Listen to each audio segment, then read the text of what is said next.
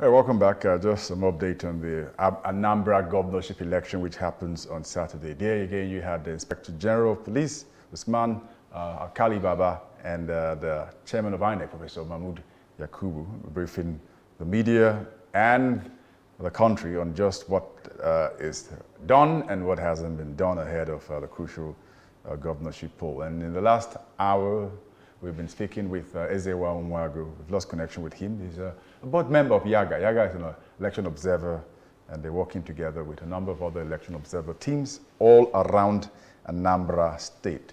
So, Mercy, interestingly, I'm, I'm, going through the list of the candidates, and yes. I see that there's a female candidate, one out of the 50, out of the 16 candidates I see here, which is interesting.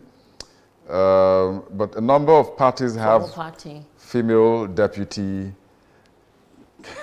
deputy governorship candidates. candidates.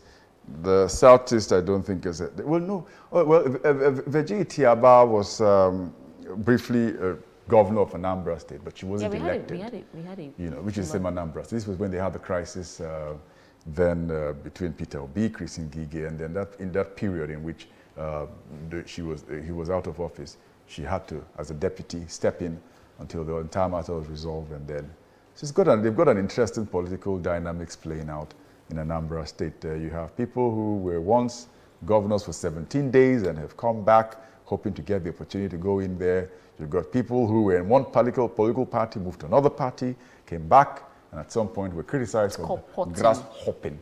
Now, oh, grasshopping, yeah, you he's uh, the candidate of uh, uh, incumbent party. Interesting dynamics, if you ask many people playing out in Anambra State. That's the game of politics, like yeah. they say. Um, yeah. Permanent, in, permanent interest, right? Permanent interest, not permanent friends. Yes, and yes, so yeah, having them sit in one place. Um, yes, very true. Yeah, yeah, yeah. It's, it's, it's, and, and that's where Nigerians are having um, an issue, especially with ideologies when it comes to parties, you mm. know, because you have this person move from here to here in the twinkling of an eye, and the next thing they embrace you, and all your sins are forgiven. Yeah.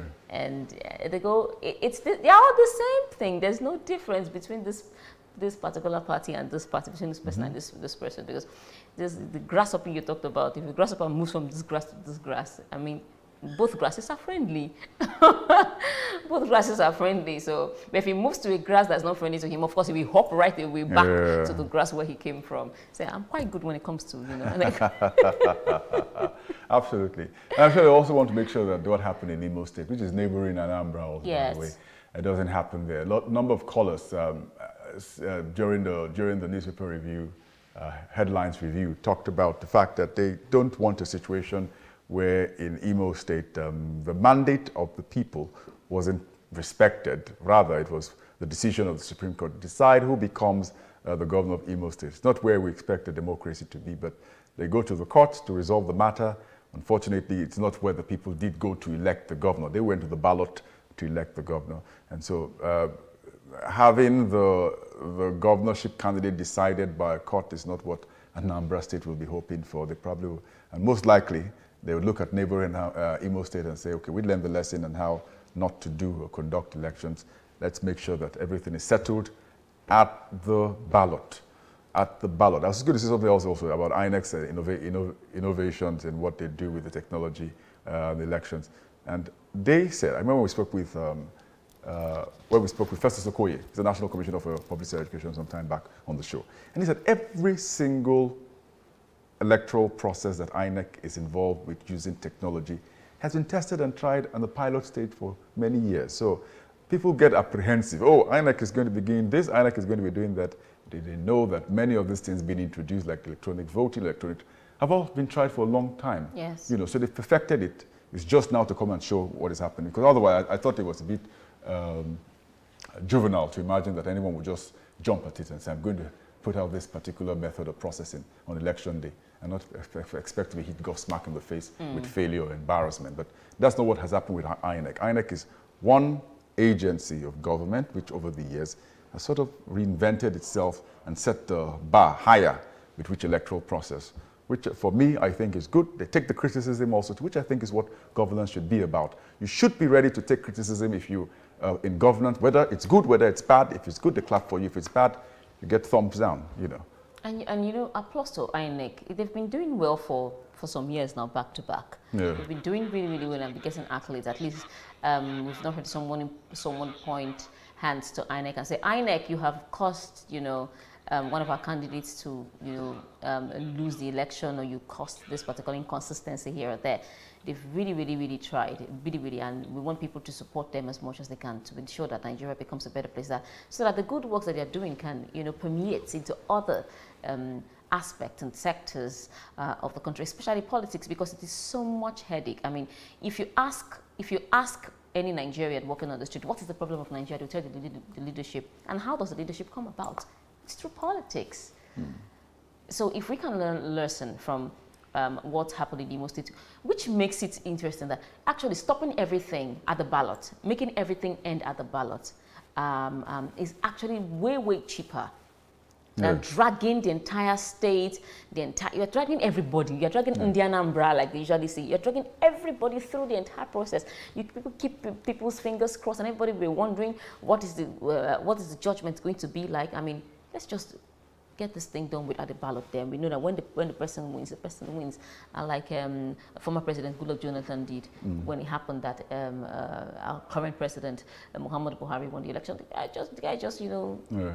made the call and uh, congratulations, thank you, and just move on. Rather than doing the booze over here and there. It's, it's just like watching your mom and your dad fight, you know. no, I didn't watch my mom and dad fight. I didn't say you. I yeah. said it's just like I could go, calm down.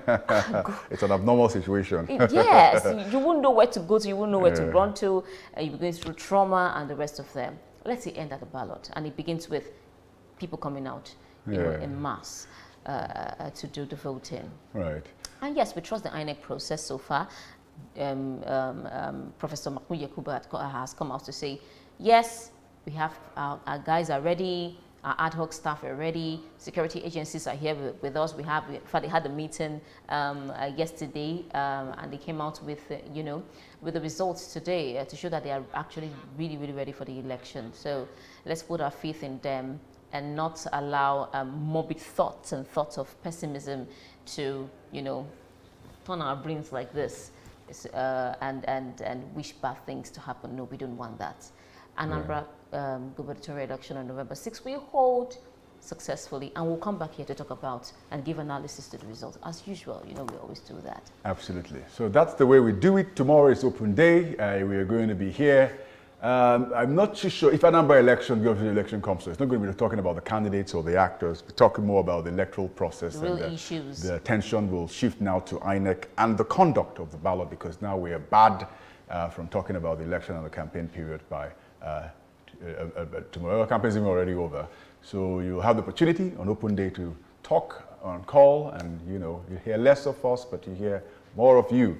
Uh, which is the idea around open. And day. yes, Agogo, um, um, as regards the another election on Saturday, um, uh, we're going to be giving um, up to the minute updates right here from the yeah. studio.